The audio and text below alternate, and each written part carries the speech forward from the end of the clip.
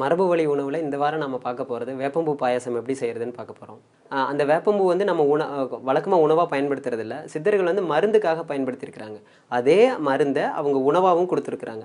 அந்த மாதிரியான ஒரு உணவை தான் நம்ம இன்றைக்கி பார்க்க போகிறோம் வேப்பம்பூ பாயாசம். அது எப்படி பண்ணுறதுன்னு பார்ப்போம்.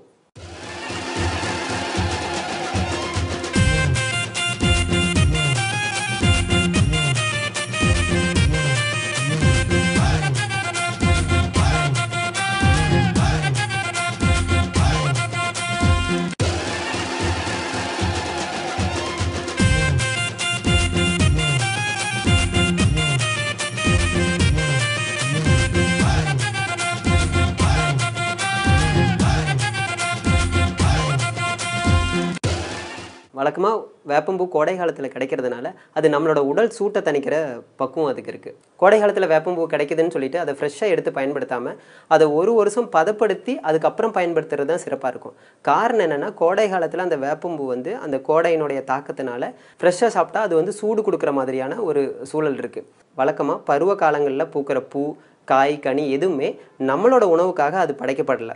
அது வந்து அதனுடைய அடுத்த தலைமுறையை உருவாக்குறதுக்காக படைக்கப்பட்டுச்சு. அதே மாதிரி இந்த வேப்பம்பூ வந்து அடுத்த தலைமுறை உருவாக்குறதுக்காக தான் படைக்கப்பட்டுச்சு. அதுலேயும் சில நச்சுக்கள் இருக்கும். அந்த நச்சுக்கள் எல்லாம் கொஞ்சம் கொஞ்சமாக படிப்படியாக குறையிறதுக்காக தான் நம்ம ஒரு வருஷம் நம்ம பதப்படுத்த வேண்டியது இருக்குது வேப்பம்பூ பதப்படுத்துறதுனா அது வேறு மாதிரி ப்ராசஸ் பண்ணுறதெல்லாம் ஒன்றும் கிடையாது.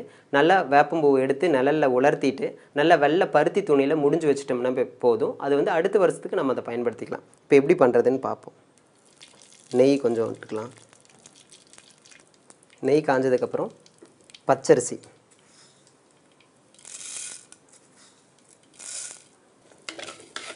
இப்போ இந்த பாயாசம் நல்லா திக்காக வரும் அப்படிங்கிறதுக்காக நம்ம இந்த பச்சரிசி பயன்படுத்துகிறோம் இந்த பச்சரிசி இந்த நெய்யில் நல்லா பொரிஞ்சிடணும் கலர் மாறுற அளவுக்கு நம்ம வறுக்கணும். இந்த அரிசி கொஞ்சம் கலர் மாறினதுக்கப்புறம் நம்ம வேப்பம்பூ சேர்த்துக்கலாம். அது ஒரு வருஷம் ஆன வேப்பம்பூ இந்த மாதிரியான கலரில் மாறிடும். ஒருவேளை ஃப்ரெஷ்ஷாக இருக்கிற வேப்பம்பூ வந்து கொஞ்சம் வெள்ளையாக இருக்கிற மாதிரி இருக்கும். அது நிழலில் காய வைக்க காய வைக்க கொஞ்சம் கலர் கம்மியாயிட்டே போகும். ஒரு வருஷம் ஆனதுக்கப்புறம் இது மாதிரி ஆயிரும். இன்னும் நம்ம அதை எந்த அளவுக்கு பழைய பழசாக யூஸ் பண்ணுறோமோ ஒரு வருஷம் ரெண்டு வருஷம் மூணு வருஷம் அந்த அளவுக்கு இதனுடைய வீரியம் கூடும். வேப்பம்பூ நல்லா நெய்யில் வதங்கணும். கருகு விட்டுறக்கூடாதுங்க ஏன்னா வேப்பம்பூ ரொம்ப மெலிசாக இருக்கிறதுனால சீக்கிரம் கருகிரும். இது வேகிற அளவுக்கு தண்ணி. இந்த அரிசியும் இந்த வேப்பம்பூவும் ஒன்றா வேகும். நெய்யில் வேகிறதுனால அரிசியில் அதாவது பச்சரிசி பயன்படுத்துறதுனால பச்சரிசி சிறு சூடு தரத்துக்கு வாய்ப்பு இருக்குது நெய்யில் வதங்கினதுனால அந்த பச்சரிசியில் இருக்கிற அந்த சூடும் போயிடும் அதே சமயம் வேப்பம்பூ ரொம்ப பழசானதுனால அதுவும் நல்ல குளிர்ச்சி தரும். வழக்கமாக வேப்பம்பூ அதாவது கோடை காலத்தில் கிடைக்கிறதுனால அது நம்மளோட உடம்புக்கு குளிர்ச்சி தரக்கூடியது. இது ஒரு வருஷத்துக்கு அப்புறம் பயன்படுத்தணும் அப்படிங்கிறப்போ அதனோட வீரியம் அதனோட மருத்துவ குணமெல்லாம் அதிகமாக இருக்கும். வேப்பம்பூ வழக்கமாக என்ன செய்யும் அப்படின்னா வேப்பம்பூ வந்து நம்ம உடம்புல இருக்கிற பித்தத்தை தணிக்கும். அதாவது உடல் சூட்டை வந்து கொஞ்சம் கொஞ்சமாக குறைச்சிரும். கோடை காலத்தில் சூட்டுனால வரக்கூடிய சில நோய்கள் எல்லாம் இது அந்த வேப்பம்பூனால் தவிர்க்க முடியும். அது தொடர்ந்து பயன்படுத்துறதுனால.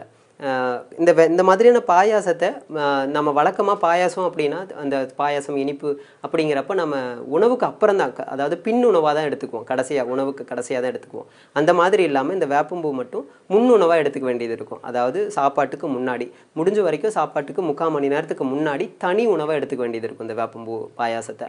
இல்லைன்னா வேப்பம்பூவில் செஞ்ச ஏதாவது ஒரு த பச்சடியோ இல்லை துவையல் மாதிரி இருக்கிறத தனி உணவாக எடுத்துக்கிட்டோம்னா அதனுடைய முழு பலனும் நமக்கு கிடைக்கும்.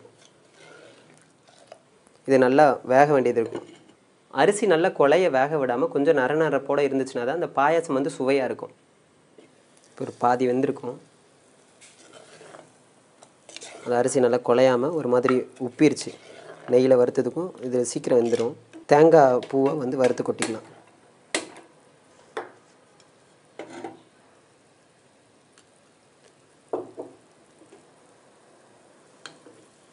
நெய் நல்லா காஞ்சதுக்கப்புறம் துருவன தேங்காய் தேங்காய் பூவை பச்சையாக போட்டால் அவ்வளோ சுவை இருக்காது. நெய்யில் வதங்குச்சு அப்படின்னா அதனுடைய மனம் நல்லா கூடியிருக்கும்.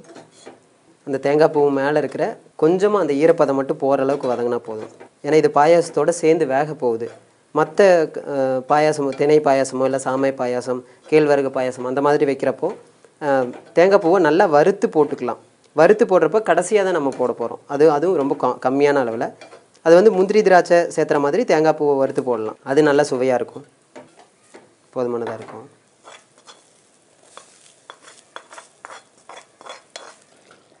இந்த தேங்காய் பூ அரிசி வேப்பம்பூ எல்லாம் ஒன்று சேர்ந்து வேகணும். இப்போது நேந்திரம் பழம். நேந்திரம் பழத்தையும் நெய்யில் வ வதக்க போகிறோம்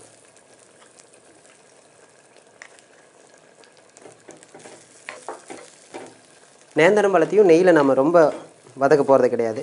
நேந்திரம் பழத்து மேலே ரொம்ப லைட்டாக இந்த முறுமுறுப்பு வர வரைக்கும் நம்ம வதக்க போகிறோம் இந்த சமயத்தில் நம்ம வெள்ளம் சேர்த்துக்கலாம்.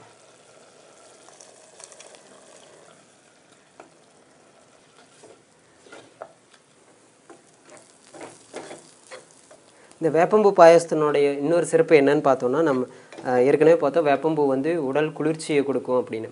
அது மட்டும் இல்லாமல் இந்த வேப்பம்பூ உணவில் எடுத்துக்கிறப்போ அதாவது தனி உணவை எடுத்துக்கிறப்போ வேப்பம்பூ வந்து குடலில் இருக்கிற கழிவுகளை நீக்கும்.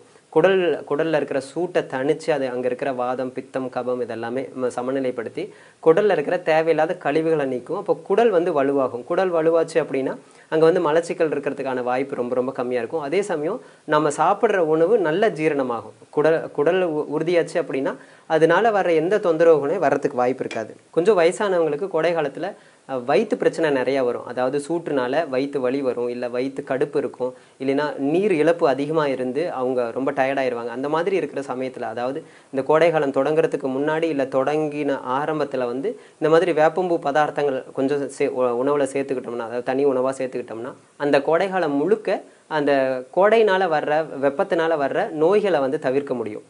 இந்த பழம் ஓரளவுக்கு வதங்கிருச்சு. அதே போல் இன்னும் கொஞ்சம் நெய்யில் பேரிச்சம்பழம். இது வந்து நம்ம ரொம்ப வதக்க வேண்டியதில்லை. அந்த பேரிச்சம்பழத்தில் இந்த நெய் ஒரு கோட் ஆகிற மாதிரி வதக்குனா போதும். சிறு சூடு இருந்தால் போதும்.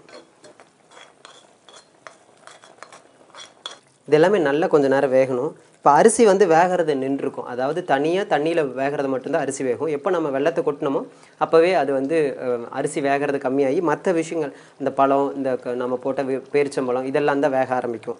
பாயாசம் பொங்கல் இதெல்லாமே எந்த அளவுக்கு நல்லா கொதிக்குதோ நல்லா நல்லா நம்ம கிளறோமோ அந்த அளவுக்கு சுவை அதிகமாக இருக்கும். இப்போ நம்ம வெல்லம் போட்டிருக்கறனால கொஞ்சமாக உப்பு போட்டுக்கிறோம்.